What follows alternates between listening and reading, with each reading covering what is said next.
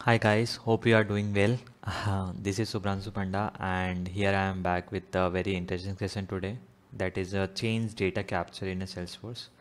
Might be you have heard about this before but uh, this is this is one related with the integration pattern which is in a Salesforce.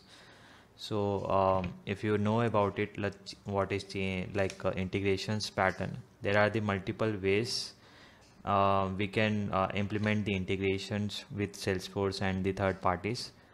So some of this like uh, request and request and reply, the fire and forgot, batch data synchronization, remote call-in, UI update based on data changes, and data virtualization. Uh, in this tutorial, I, uh, I'm not going to going to in a deep detail of about these sessions, but yeah we'll we'll talk about the one one process of that in the batch data synchronization. Uh, under that we have a very uh, solution about this like how to handle this batch data synchronization. And one of the solution is change data capture.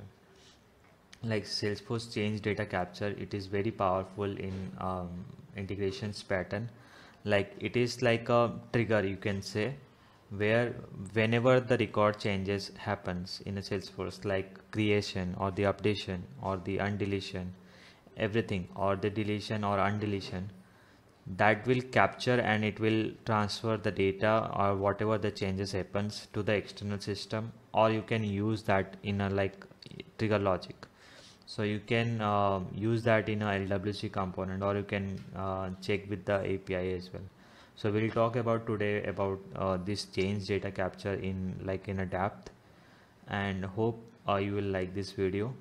So we'll uh, start with the session today.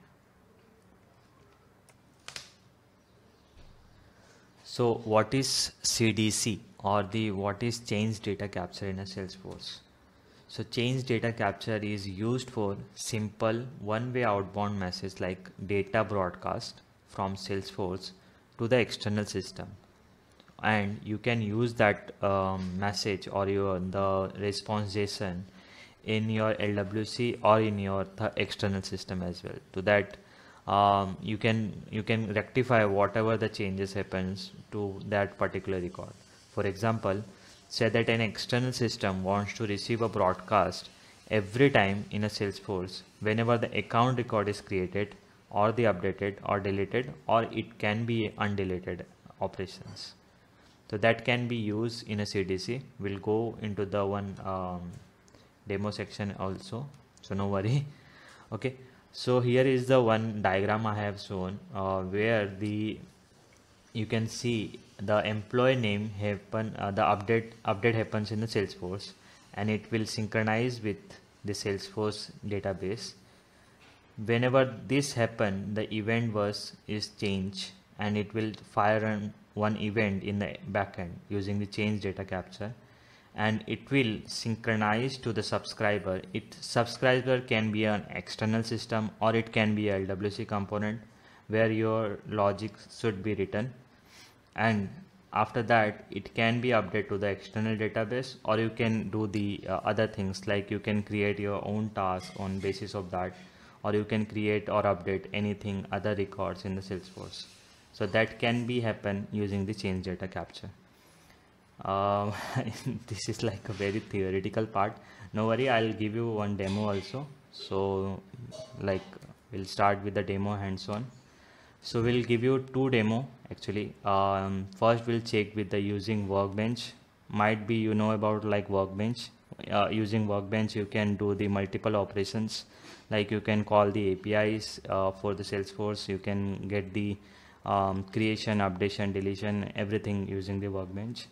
And in the second example we'll using uh, we are using the LWC to that we can capture that event whatever happened in the Salesforce and we can do the other things using the LWC component. Okay? So we'll start with our demo first using the workbench. So let's start with the demo today so um, you have to enable the change data capture and it is very simple in a salesforce. You don't have to do anything. Just uh, go to the setup in a salesforce and search change data capture in a salesforce. Then you have to just uh, select whatever the entity you have to choose for the change data capture and you can add that into the selected entities so for today's uh, live demo we have using this job application custom object and we'll go with this custom object. So whatever uh, the record will be happen with this object record. This will fire an uh, like event and we'll subscribe that event to that uh, we can get the another result or we can do the other things on basis of that record. Okay? I had already logged in with um, like workbench you can also log in with your salesforce account. It can be a sandbox account or can production environment. As of now I am using the developer account so you can also use that. After login you can see the different tabs here. So go to the queries then you have to go to the streaming push topics.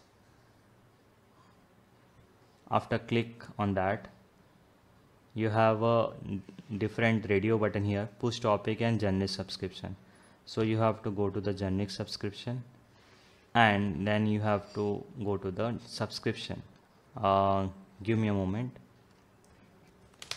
Okay um, now we have to use this subscription API here. So in a workbench you have to just enter the data. Then you have to go to the object name first so here we are our object name is job application. Remember you don't have to copy the underscore underscore c. You have to just copy that API name without the C. So I'm just copying this. Now go to the here. Now you have to write the change event. And after then just click on the subscribe now you can see here the subscription is successfully done. Now whatever the changes happen you can get the um, JSON uh, response here. Like I'll give the demo also. So go to any job application record. Uh, sorry let's go to the okay. This is the one sample job application record where I'll I'll update the status and let's happens what the happens with the workbench so I'll update the review resume to schedule interviews and we'll save that. Now go to the workbench. See you can see the data complete json here and you have changed the set status to the schedule interviews and you will get the replay id here.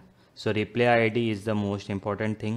Using that replay id if the subscription is not happen and um, by any chance you have missed that subscription so you can use that replay id and you can uh, again you can fire you can subscribe that using that replay id this is the standard um, field given by in the uh, change event. So you can remember that replay id here.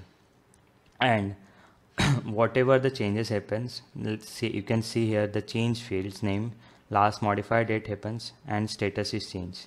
So you can get this complete json um, whenever the you have subscribed this event. So similarly when you delete the record you will get the response. You will uh, whenever you undelete the record you will get the response. So using that you can do that.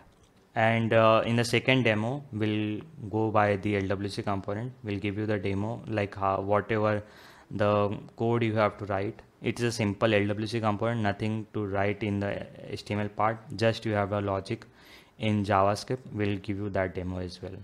So bear for a while. All right um, this is our the second demo for today. Um, this is uh, first we have already seen using the workbench so in a workbench you can subscribe that um, the object whatever like standard object or custom object you can subscribe and you can get the response using the um, various event like uh, created or updated delete undelete various operation.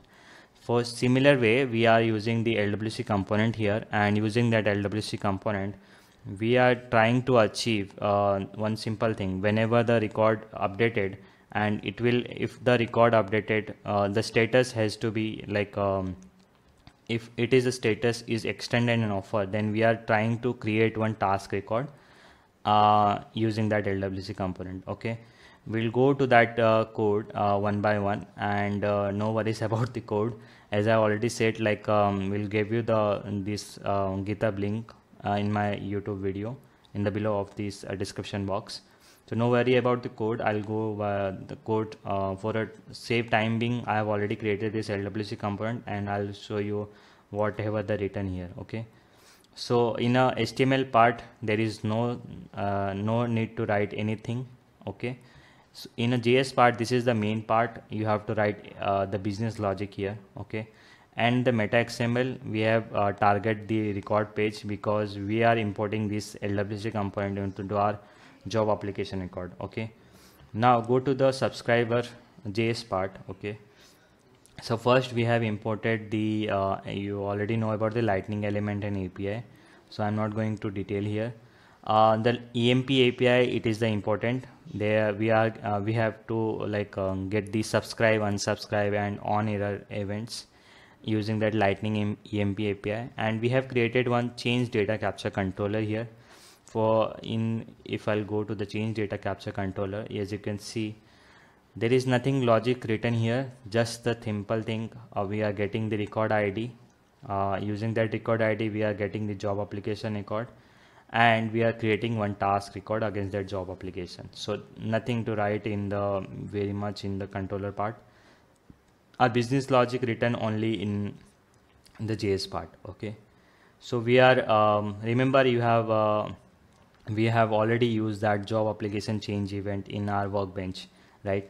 So similar way we are using that channel name only but in a lwc component. So uh, we have we written the handle change name. So whenever the change name uh, channel name is subscribed it will get the channel name from here and it will check the event target value okay? And in render callback if the subscribe is not true okay then we are calling the handle subscribe method. And if it is once it is called then it will um, the it will uh, update as a true.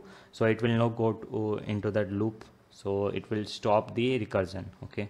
So this is the main uh, logic here written here. In connected callback uh, we have called the register error listener. So whenever the uh, any error listener is there so it will uh, handle all the things okay in handle subscribe method we have called from here render callback okay? We are getting the uh, response. So, uh, this response is nothing but whatever the we are getting in the workbench. So let me see where is this. Yeah this is the response if you remember whenever we have subscribed and uh, when whenever we change anything in the job application record okay so that is the same response we'll get whenever the subscribe is done okay? And we are doing the uh, another call here the handle message. We are passing that response to the handle message and handle message will do another logic here main business logic here okay? Uh, and this is the handle subscribe method unsubscribe method which is nothing but uh, once the response is done once the subscription method is done then it will automatically unsubscribe method okay. So go to the handle message. Handle message will check the response. If it is response is not null it will check the parameter if the data is there or not. The data is nothing but this data. Okay.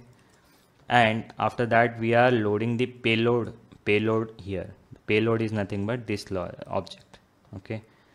And after that we are checking the response payload have the property status and change event handler status is nothing but you can see whenever the change happen to the status it will give the one field name here and whatever the changes names here. And change event handler is nothing but the detailed description about like whatever the changes happens in with the record. Okay? And once if it is match then we are checking with the record id the record id is, is nothing but another record id method here. Uh, yes so record ids will get the record ids here. Whatever the changes happens with the salesforce it will give an array of the record ids so we are checking that record id and if the record id is matched with the current record id then we are logic we are uh, calling that apex controller. It will whatever uh, the it will do the same thing like it will create one task and if the error is there then it will show the output console log error.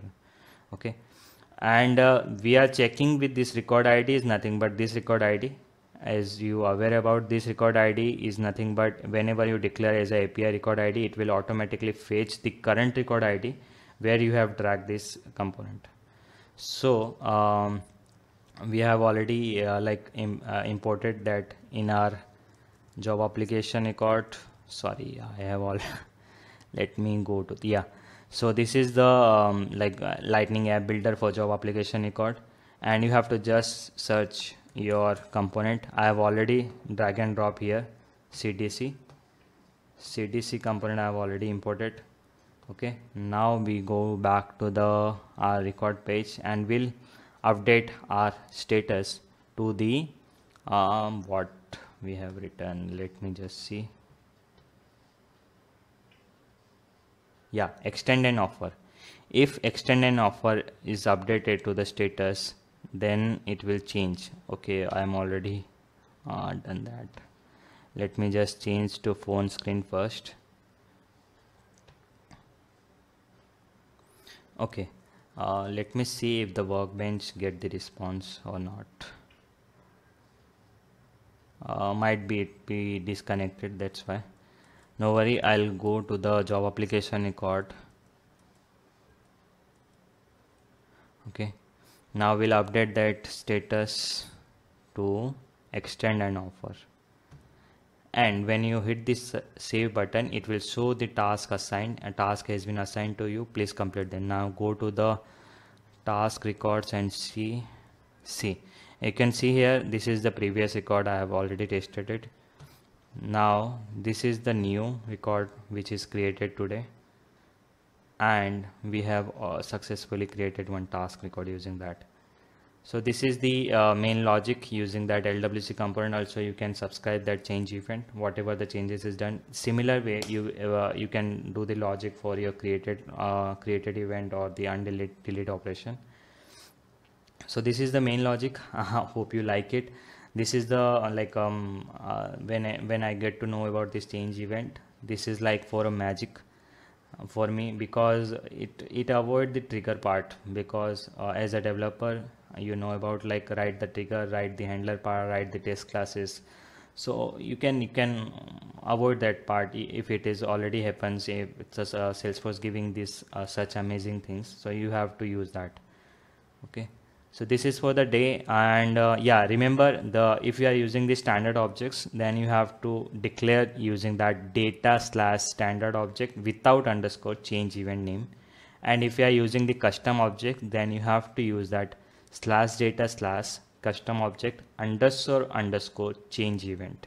So this is the main point whenever you are using that in your like um, workbench or your component.